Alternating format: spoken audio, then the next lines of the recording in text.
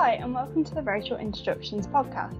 From creativity to slang and modern drama to psychopathy, we'll showcase a concise and original introduction to a wide range of subjects, wherever your curiosity may take you.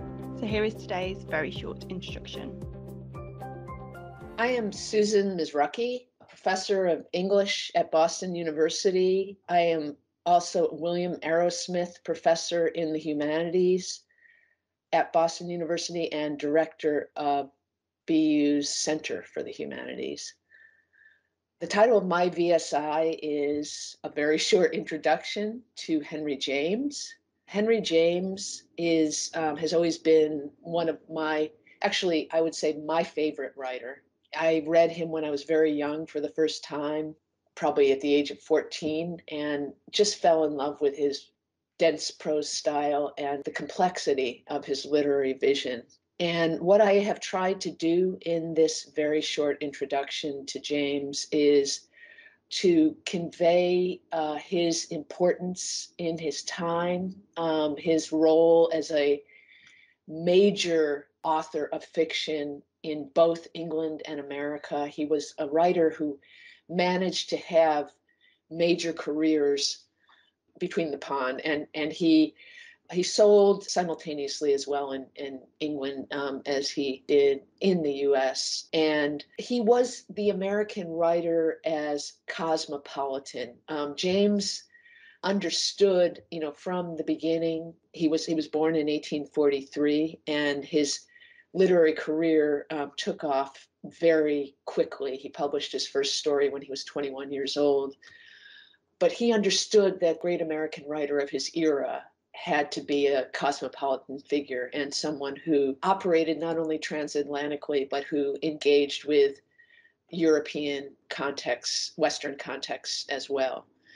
One of the things that, you know, I think people may not be as aware of as, as I think they should be is, is just how prominent and significant James was in his own time. Uh, he was nominated, for example, for a Nobel Prize in Literature three times during his life, and he won major awards as a fiction writer. And you know, I think one of the things that that is so important about him is he's he's one of the U.S. writers uh, and UK writers who has had a a major afterlife, and he continues to be extremely significant, not only in the 20th century, uh, he died in 1916, but in um, the 21st century. And there have been many, many films made of his novels, film adaptations, and he has also been the subject of many um, author biographical fictions, the um, genre which has been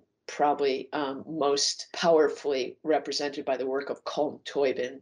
So James is very much with us, and what I think is especially interesting and important about him is the extent to which his influence extends to such a wide variety of significant authors. Um, just to give you an example, Dashiell Hammett loved his writing um, and was highly influenced by The Wings of the Dove. Toni Morrison loved James, as did James Baldwin. And Philip Roth is often channeling James um, in some of his novels. And so I think the way his work became indispensable, you know, to subsequent 20th and 21st century writers um, is another, you know, sort of key aspect of his career. I, I guess what I would also just say is James was um, was an author who lived the authorial life in a full and complete way, which is, I think, quite unusual. It was distinctive in his own time, and I think it's it's it would be somewhat rare today. Um, that is to say that he was a professional writer. He had no family. He had many many friends and acquaintances, um, and and had a voluminous correspondence of, of letters, um, which Philip Horne has has written about um, in his book um, Henry James: A Life in Letters. But his life was writing, and watching and looking and he, his famous one of his most famous phrases is be one on whom nothing is lost and i think that this characteristic you know someone who lived his life as a fictionalizer who was always searching for subjects and who found his subjects everywhere um, in his experience is, is a very sort of critical aspect of James. I mean, the other thing just to say about James, I mean, he devoted himself to the writing life and he produced a voluminous number of, of major um, works over the course of it. I think uh, it's important um, to emphasize that he wrote in so many different genres. He didn't write poetry, but he wrote stories, he wrote novels, he wrote travel literature, he wrote biographies, and he wrote his own autobiographies and memoirs, which represent one of the most um, significant, you know, forms that his reputation is based on. But I would say that probably he is best known and most beloved among literary people, which obviously includes me, um, for a group of novels and maybe a handful of short stories, which have been regularly anthologized, which most cultivated readers um, who know uh, the literary canon, and, and as I said, this includes um, major writers who can be considered um, the kind the kind of uh, inheritors of, of, James. I should I should mention, by the way, um, in this group, Cynthia Ozick as well, and also Joyce Carol Oates, who have both written author fictions um, with James as the protagonist. But I would say that James became known for a handful of stories and a few major novels, and um, they include The Portrait of a Lady, which he published in 1881. This was his first major work. And um, I consider this in many ways to be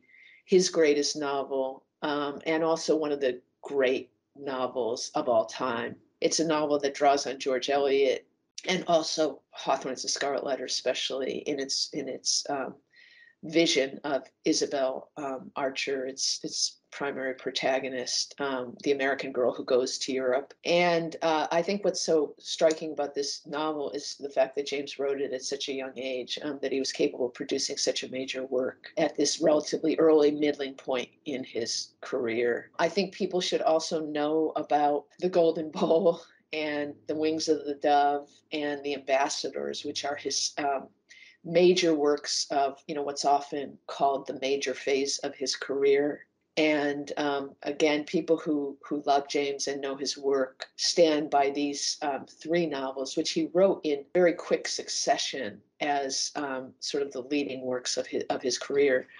And then um, there are some major stories. Um, the Beast in the Jungle is a story that is probably the most frequently anthologized of James about John Marcher, a man who lives life um, waiting for something significant to happen to him, and that's his, you know, sense of himself. And it's it's an incredible story, um, as is the Jolly Corner, and there are many others.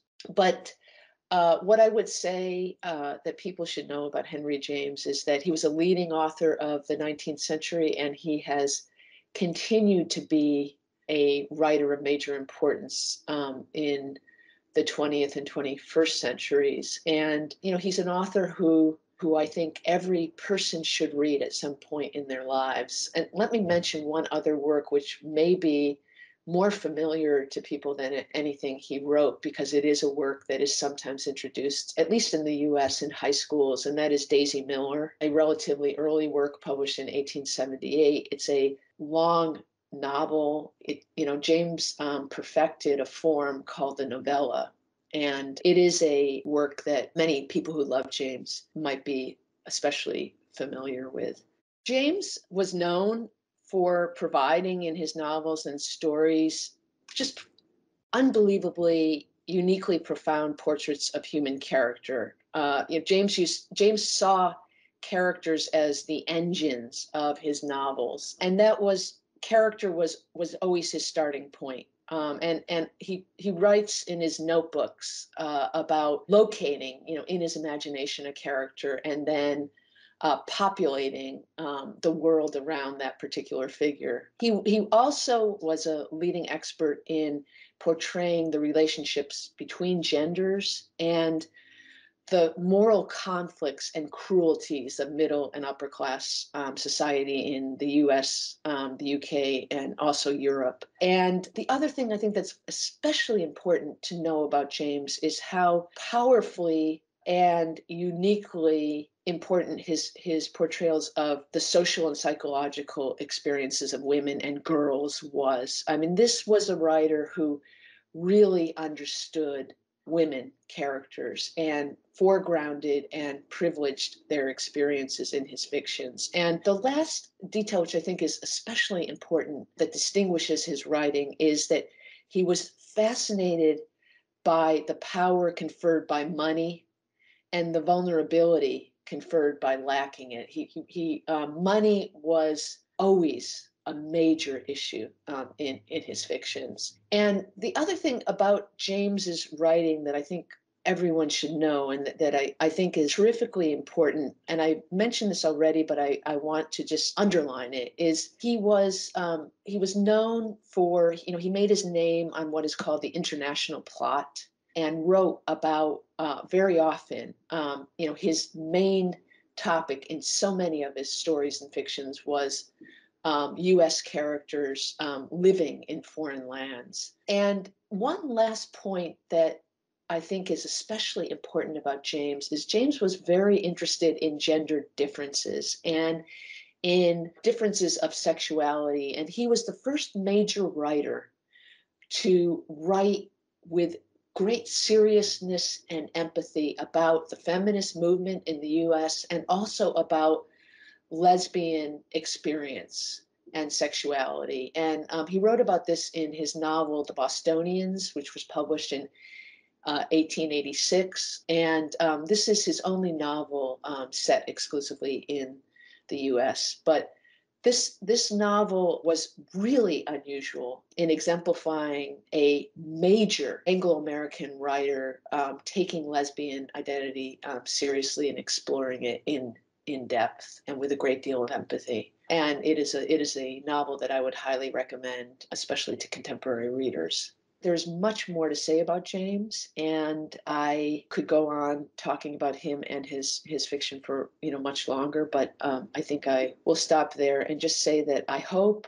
that this book will represent for people not only range and significance of his of his writing, but also you know the um, sort of phenomenal longevity James has had as, as a writer, you know, of importance for both the US and the uh, British contexts. Thank you for listening to the Very Short Introductions podcast. You can subscribe to our podcast on Apple Podcasts, Google Podcasts, Spotify, and Stitcher to receive new episodes directly to your podcast feed. All of our episodes, new and old, can also be found on SoundCloud and YouTube at OUP Academic.